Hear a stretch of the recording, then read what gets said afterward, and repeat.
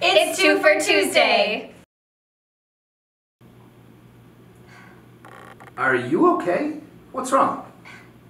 My account got hacked again.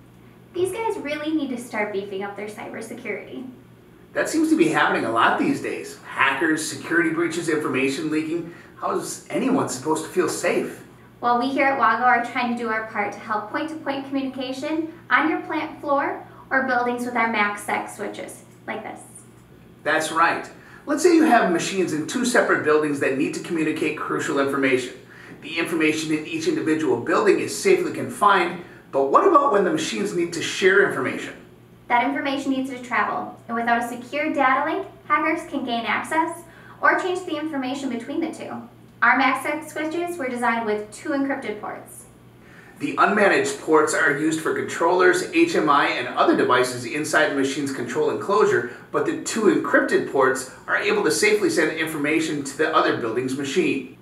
Information is then de-encrypted by the other switch, and that can be sent to the other controllers.